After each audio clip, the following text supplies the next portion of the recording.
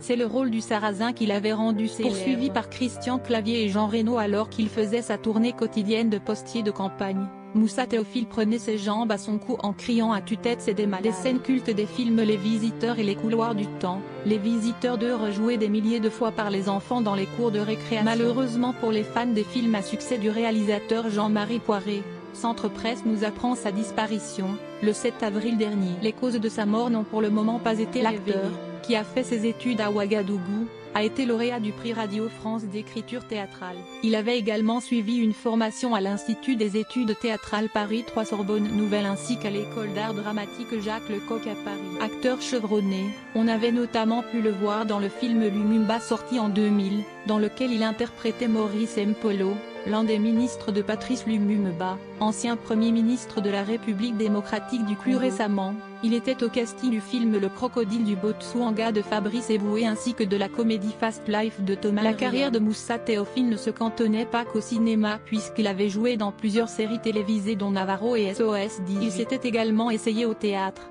jouant dans plusieurs pièces, comme l'indique Centre Presse selon ses dernières volontés. L'acteur sera enterré dans son village natal de Bérégadougou au Burkina Faso.